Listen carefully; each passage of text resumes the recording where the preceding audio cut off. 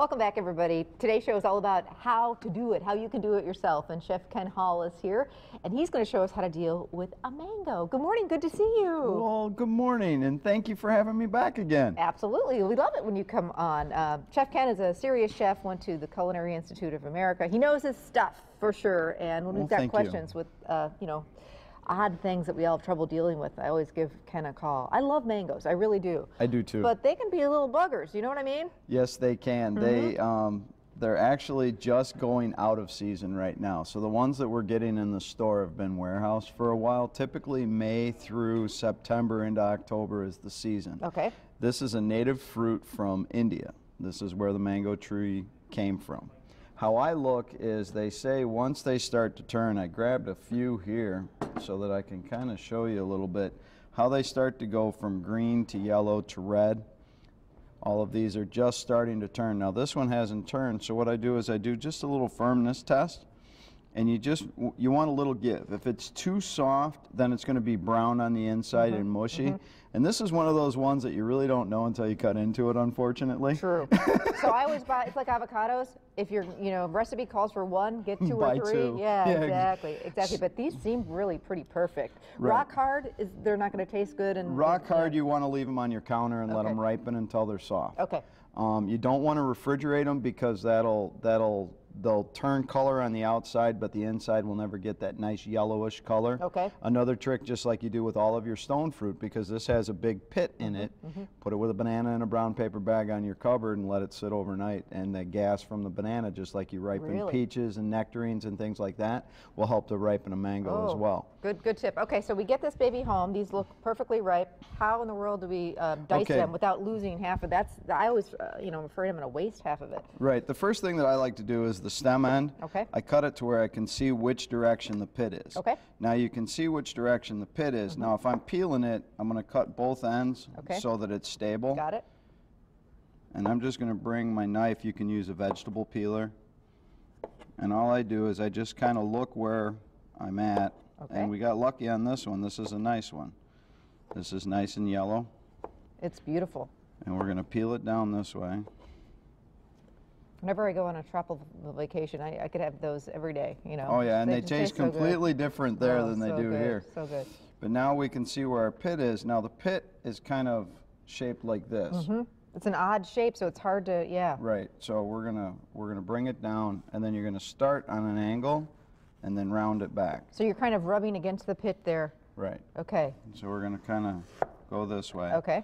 Now on the ends, I just bring my knife off to the side, this way, and get that last little bit. You make it look so easy, and then that you can take that and nibble it back in the kitchen. Right. You know, get a little. Right. And another way that you can do this for like presentation, you'll see a lot of these in magazines, cookbooks, things like that, is you cut it this way, and then what you're going to do is you're going to score it. like an avocado. Sometimes you and you kind of turn it inside out. Yep. And Okay. then you're going to turn it inside out so you can score it this way. That's if you want to dice rather than a slice. Or if you want to put it on a fruit plate, oh, Okay. you know, how pretty is that on a Oh, fruit plate? that's gorgeous. You know, you can put this right out on a fruit plate, and then the people can come and just pull it off Yeah. like this and eat it this way. So there's there's a couple But you of waste that ways. in there. That's the thing. Again, you'll have to take that back to the kitchen and nibble on it yourself. Right. Okay. All right. Now we're going to use these mangoes in a recipe. What are we making? Um, what I, I, I just like simple salsas, Mm-hmm. um, and tropical fruit is wonderful. So what I did was I, I grilled off some chicken breast. Okay. So I've got one clove of fresh garlic in Okay. here. I'm going to put about quarter of a cup of soy sauce Okay. in here. I, I think that the, the oriental flavors go very well with your tropical fruits. Mm-hmm. I'm going to take some fresh ginger, which I grated up. Mm, smells good. I'm going to take a little olive oil. We're going to take about a tablespoon of brown sugar. Put a little brown sugar in there. I'm going to take just a little squeeze of lime. Now I always roll my lime first, and then I just cut the end off so I can just get just that little bit without wasting the whole lime. We're going to mix this together. And this is kind of going to be our dressing. Even the dressing smells really nice and light. So this is great for this time of year, just nice and light. This would be perfect, uh, you know. And this is a great marinade for grilling season. You know, this is the time of year you want to start busting Right. out the grill yeah, I stuff. can't wait. Haven't done it yet, but I'm, I'm about to. Okay, so that's our marinade in Okay. there. Now what we're going to do is we're going to take the mango, And these are already cooked chicken breasts, so it's kind of an after marinade, right? right? Because this is going to be more of a cold salad Okay. or light lunch type of thing. Sure.